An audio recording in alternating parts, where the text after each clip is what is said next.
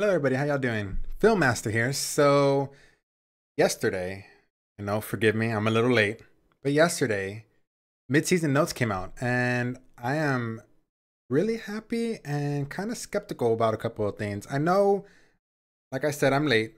So I understand that if y'all have seen them somewhere else on another YouTube or something like that, please stick by and listen to what I have to say because I want to give you my opinion and I don't know if my opinion matters to you or not, but I hope it does.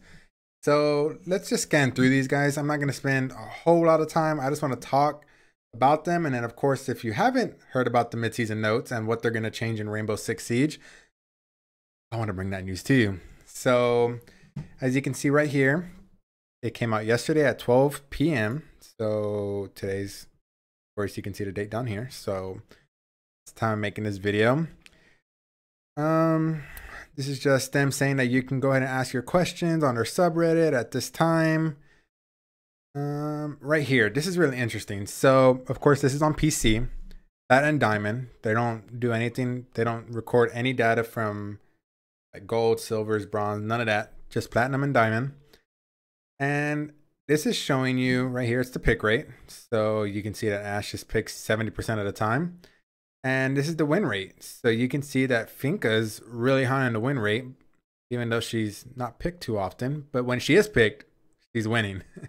so that's just a little neat thing. You can just see how what operators are used the most, which of course are these. Lion's up there, and he's of course we know Lion. He's just a new operator that got introduced with year three, season one. So people are loving Lion, not Finka too much, but Finka does have a really high win rate. So down here is defenders. Oh, wait, wait. Let's just make fun of Jackal. Even though I feel like Jackal is used quite a bit on Pro League. Anyways, let's make fun of him. And Montagne. And Capitão. Because they're the three losers of the bunch. Because they're never picked. Anyways, so down here, we have Cavi. And look at the Tachanka. Oh, Tachanka. And Castle. I'm really, I heard during the Six Invitational when EG was going against Penta for the big old sledgehammer. I heard that they were going to do something to Castle. So I am really looking forward to seeing what they're going to do with Castle. They said maybe something that they're going to change what can break Castle, what cannot break Castle. So hopefully they do something because I feel like Castle could be very, very useful if not every single player could break his barricade. I mean, almost everybody can break it. Grenades, hitting it, um, sledge, breach charges, everything. Everything can break castles. So he's kind of useless at the moment. That's why he has such a low pick rate and also a win rate. If you see Vidro up here, which is one of the ones we're going to be talking about in a little bit, he has a very, very high pick rate and he has a very, very high win percentage. So Ela's calmed down since last season. She was kind of over here. So you know that she's actually her nerf did help the community even out the playing field a little bit. I'm actually really glad with Ela. Pengu's not glad, or I don't want to throw any names out there, but a lot of people aren't glad with what's happening to Ela. They feel like they nerfed her too much. They really don't like the fact that they took her impacts away. But I'm not an Ela main and I don't play Pro League and I am barely started playing PC, so I I can't say. I don't even have Ela in my arsenal be able to play on PC. That's how new I am to PC. But anyways, let's go right here to the upcoming changes. Lion. So if you want to scroll back up here real fast, you see that Lion has such a really high pick rate and a win rate. So let's go ahead and see what they're going to do to him. Our indicate our data indicates that Lion is currently too strong. He has close to 100% pick rate in Pro League, and his win um, delta is too high and ranked as well. We have observed feedback and started and stating that he was not fun to play against. He is. I'm sorry, I'm just getting my tongue twisted a lot. he is not too fun to play against. I mean, how do I say this? I feel like Lions wall hacks are really overpowered, and I'm really glad they're going to be doing something about it. But um, this is what they're gonna do. So if detected and a player stops moving, the outline outline will no longer appear. Attackers may know where you are, but you will be able to change their stance without them knowing. So this is huge, guys. This is this is game changing. Like Lion is probably still gonna have a big pick rate in Pro League, but he is not gonna get a free kill. Like, okay, Lion scan goes on for three seconds or five seconds. I'm not sure. But if you move at all in the matter of those couple of seconds, you're outlined for three to five seconds. I'm sorry, I should know, but I don't know. Um, this is how it is right now. You you're outlined for those whole seconds. No matter if you stop moving, you crouch, you see that you're crouched. You're laying down, you see that you're laying down. So I really like this. So as long as like if you move a little bit and you stop, you can go prone and crouch and go prone and crouch, and they won't know. So they can't get an easy headshot on you. So that's going to be really big. Um, so that's just talking about that. This is the first step to give defenders more options to counterplay against Lions. Detection, we are still looking into improving how Lions detection works, and your feedback will help us get better idea to, of how to proceed. Um, if detected very briefly, it will be more difficult for attackers to locate your position. It's I honestly feel like people still are not going to be happy with this. I feel like people and I don't know, I might not be happy with it. But right now, I know it's way overpowered. But I feel like, okay, so Lion tracks you through a wall. His whole team can see that you moved that little second. Let's say someone's right on the other side of the wall. They're still going to get the kill because they're going to spray up and down and they're going to end up getting you. But um, that's good. Like if you're across the map and you move by accident, it says player scanned or whatever it says, and then you're gonna be done. Like you're, it's done. They don't. Like by the time they turned around, I'm hoping that the outline would be will be gone, but we won't know until it comes out. Um, scan charges and cooldown. We're still talking about Lion here. We were re reducing the number of charges from three to two. So at the moment, he can use his ability three times, but now he will only be able to use it twice. So I think that's really going to be good. I feel like three is a little. Honestly, I feel like three ain't a lot. And a lot of people are going to disagree with me. I'm not in high competitive play. I hope to be one day, but at the moment, I'm still trying to just learn the controls on the PC. But honestly, I feel like three ain't a big deal. But again, I'm just an amateur player.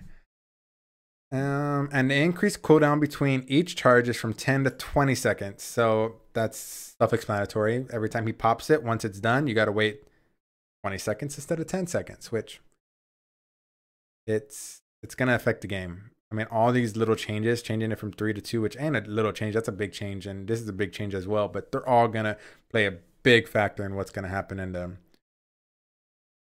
the rest of the season. So, um, we want to force players to make more careful choices when they use when they want to trigger lion scan. Players are currently able to chain the scans too much during critical moments. That is really true. When you plant a bomb, pop it, pop it, pop it. I mean, shoot. I mean, you'll never be able to get to the bomb. Like, by the time you actually are able to even look for Lion to kill him because he's probably watching bomb or defuser. He's probably watching defuser while it's ticking away by the time you actually even get to look for Lion to kill him so you can go back to the bomb, you're not going to have any time left. So that is really true. Jaeger. This is big, and I see this a lot in Pro League. I see this a lot in Diamond players. Um, I watch a lot of Twitch, so I see this used a lot. So um, Jaeger's Magpies. Hope I said that right. I don't know why I always called them ADSs. I don't know. Will no longer destroy Hibana's X-Kairos pellets. So when you wanted to get rid of a Jaeger charge, you would have Hibana come. Hey, Hibana, shoot your X-Kairos pellets through the window. Shoots through the window, sucks up three of them. That Jaeger's done.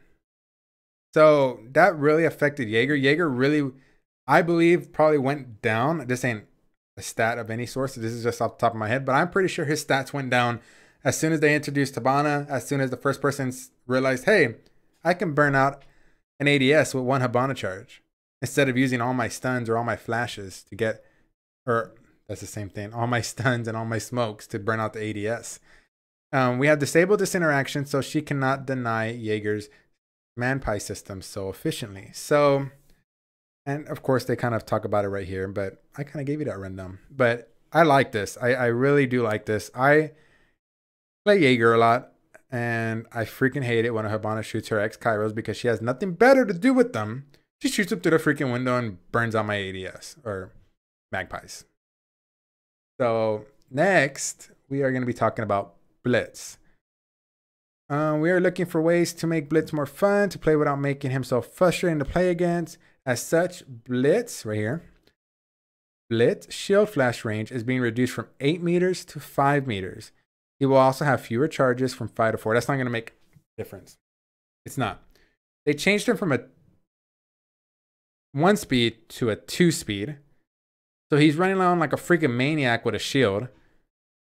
Changing it from 8 meters to five meters is not going to change anything. I personally don't think it is. I mean, Blitz can get up to you so fast, those three meters ain't going to make a difference. Blitz can literally just sprint to you, flash you. Like, most of the time when he flashes me, he's within two meters. Like, he's so freaking close. Like, I'm trying to shoot his feet. Before I know it, he freaking knifes me. Like, it's not going to change anything. A fight of force, not going to change anything. Um, do your 3. Season 1 blitz change has brought his pick rate closer to his average, but his win delta remains too high. Of course it does. Of course, Ubisoft. Of course. Reducing his flashing, flashing power is the first step in that direction. We are looking into ways to, to give defenders more options to counter him at melee range. That's really interesting. We are looking into right here we are looking into ways to give defenders more options to counter him at melee range. Melee? Melee? Not going to get into that argument. But this will take some more time. Dang, that kind of makes me think like, what? What do they plan on doing? Like, that's interesting. I, I, I just noticed that, and I've read through these, but I, I guess I kind of skimmed through them, and that's that's huge. I'm interested to see what this is. I, they they did nothing to Blitz. Blitz is still going to be overpowered.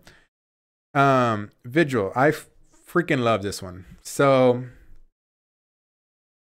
I love Vigil. I don't have them currently on PC because I just bought the starter edition and I am grinding it out because that's not going to be my main account. I'm just using it to get used to playing on PC. So I didn't I didn't spend a lot of money. I spent 15 bucks and I don't have Vigil yet, but on PlayStation 4 I would like to say that I played Vigil more than 50% of the time on defense. And I loved him because you can burn so much time and they don't know where you're at because they can't drone you. It makes them face check. And when someone has to face check, you have the advantage because you hear them coming. So I loved him because I was almost a Vigil main on PlayStation 4. But I feel like it's a good move. I feel like they they made a they made a right change here on Vigil's part. So let's let's take a look at it. We are altering how players use the electronical rendering cloak. It will now deplete its charge in 12 seconds instead of 30 seconds. That's huge, guys. That's 18 seconds. That's not even half. I, I figured they would cut it in half, but they didn't. They went one step further and they actually cut it by 18. So that's that's a huge cut that they did. It will now refill in half the time from 12 seconds to 6 seconds. So this is they made up for it by the by the refill time. I understand that, but I I think it's a good move overall. I, I, I can't I won't know until I use it. I won't know until I feel like 12 seconds is just going to feel so fast. It's going to make you it's going to make you really think about how you use use this vid or how you use the cloaking device it's really going to make you think about that. So, um, following the nerf to Ela, Vigil has risen to the top of the pack and has become one of the strongest roamers in the game. This change will help Vigil's players resource manage or will challenge Vigil's players resource management and require more skiff, skillful use of their main to remain effective. We plan to keep an eye on his loadout, weapons in particular, moving forward. This, I knew it was going to happen. Like, his weapon loadout is so good. Like SMG 11 on Sledge and smoking all. It's it's freaking. It rips people, rips people, and then the SC um, SM, SMG twelve has double like two and a half times the magazine of the SMG 11. Yeah, the recoil is a little bit like a lot more than the SMG 11 to my like what I think it is. I haven't played it on PC, so I can't say if it's real controllable on PC, but it shreds people like shreds them. And then you also have the K1, K1, K1. Not sure what it's called, but that's a really good gun as well. His primary. So you got the Boss 12G. Um, I don't ever play with that one to be honest, so I can't say if it's a good gun. I mean, it's like a sniper rifle, but you get two shots. So I don't think they're talking about that one. I think they're talking about his the other primary and a SMG 12. I, I feel like they're gonna nerf him. If he's still really strong after this, they're gonna end up nerfing his loadout. Um, Hibana will be losing her claymore and receiving a breaching charge. I like this because Hibana Hibana has a beast of a secondary. She can destroy hard walls. She's a hard wall destructor. Hard wall destructor. and she has a claymore. So like you can't even run out on on her. You can't. You can't. But I, I think this is a good move. I also really agree with this one. Hibana losing the claymore and receiving a breaching charge. I like it. Um, more people will just play the stuns.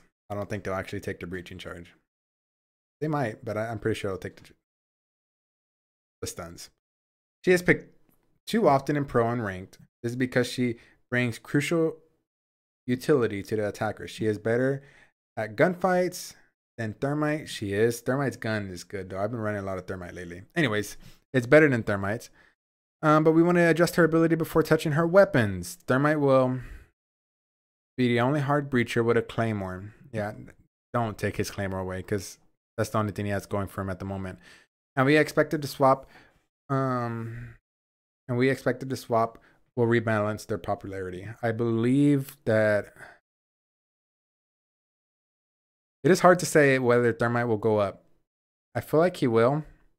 Because that Claymore can and Claymores can still get kills for you when you're dead. Like that's the beauty of a Claymore. Like a well-placed Claymore in a rotation, if you die, you can still help out your team.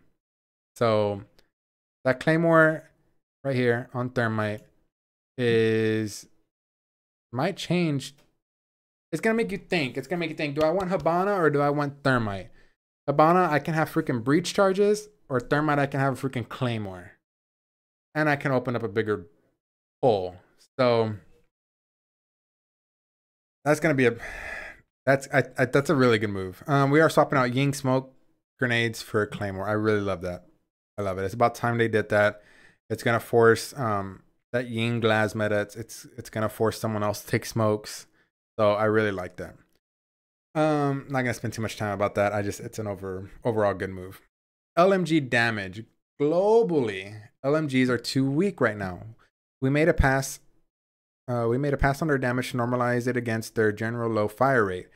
We will also receive uh, review their recoil once we have improved implemented a new recoil system. So, I'm sorry, guys. So, how do I feel about this? I like it. Um, honestly, I feel like no one runs LMGs. I mean, of course, Ying, because either that or a shotgun, but you have a choice when you have Finka, you have a choice when you have Capital, you have a choice when you run Fuse. So and no one ever really picks the LMGs. You know why? Because the damage sucks. Like, no one chooses a freaking LMG because the damage is trash. So it's gonna it's gonna give you an option. I mean, are people gonna like the option? I mean, from this jump, I think people are gonna love the option of the LMG. Look at this, nine freaking points. Suppressed stays the same heavy barrel damage, it goes up three. But normal, like, oh my god, that's that's that's uh, hard to say if I think that's a little too much. I don't know. Um, look at this. Ying is gonna be such a powerful operator for the fact that they gave her a claymore, plus they upped the damage of her gun by freaking nine points. Suppressed is eight points, and Heavy Barrel's four. Like dramatic changes across Ling Ying. Ying. Ying. Like Ying, I suspect to be one of the highest pick rates in Pro League now. Like it's freaking ridiculous. Her Candelas are freaking amazing as it is.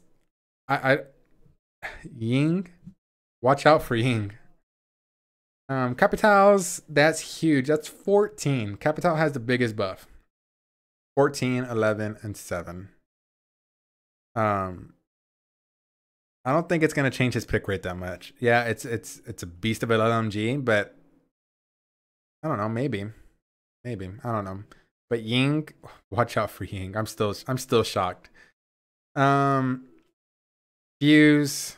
Fuse is just Fuse and Finkas, I mean, it was it was pretty beast as it is, so they didn't change it too much. Um current strats Finka. Mm, indicates Finka's win rate is too high right now. We want to take some time to investigate why this is before we make any changes. Our focus will be to study the effects of her recoil reduction, speed boost throughout barbed wire, and health boost. For the speed and health boost, we will need more data to ensure that we are making the right adjustments. For recoil, we do not want to change it before the implement of the new recoil system. Doing so would result in clouded data and feedback. Um, you never see Finka on freaking Pro League. You never do. You never see Finka on Pro League. Like I've been watching Pro League and I've probably seen her like two or three times. And it's just honestly it messes up pro players because that recoil boost, they're so used to how much they need to drag their hand down to accommodate for the recoil that they're overcorrecting. So um that was a big issue and it was a big issue for pro league players. Um, Ela Ela is currently in a be- much better place. The data indicates that she is an acceptable pick and win rate. Win rate. We do not foresee any more changes being necessary in the short term, but we will keep an eye on her. I agree with that. So, um, unique operator gadgets. Our team has learned a lot from the test servers and um, on Blitz changes. One of the key takeaways being a clarification on priorities. Mm, nothing much. We have seen player, um, player feedback that the meta currently feels fast, feels faster than it has in the past. The average round length has gone from 2 minutes and 24 seconds to 2 minutes and 15 seconds. Because everyone's freaking rushing. Like, everyone's freaking rushing with Lion. You put Lion, Dokkaebi. Whoa. Lion, Dokkaebi, Else.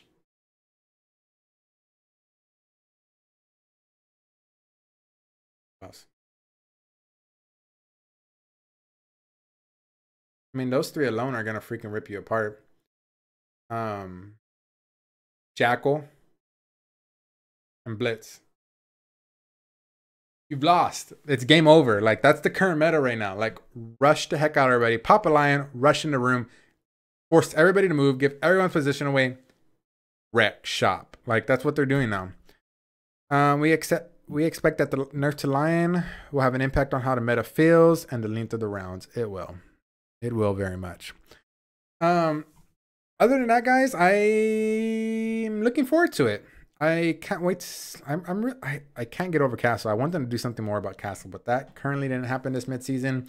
Hopefully, in um season two, something will happen, but um, not this season.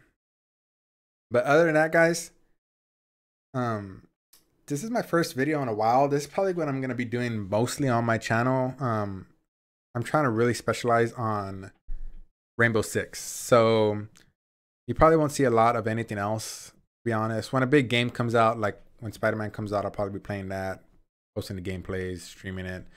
But um I'm probably only gonna be posting probably once a week on YouTube. And it's probably gonna be a tips and tricks videos for Rainbow or a comedy video for Rainbow or highlight videos from the stream all week. But if y'all want to see more of the Philmaster, I encourage y'all to go over to Twitch. My link will be in the description below to my Twitch. Go follow me, please. I'm really trying to build an audience over there. I appreciate every single one of y'all that took the time and heard me out on my late rant about the mid-season notes. but thank y'all. I appreciate y'all. Click the link below. Go to my um I just totally blinked out. Go to the Twitch, my Twitch um, website, and click the little heart in the corner. Follow me. Um, show me some support. Thumbs up on this video if you thought it was informative of any way, even though it's about a day late. But other than that, guys, thank y'all for everything, and y'all have a good night.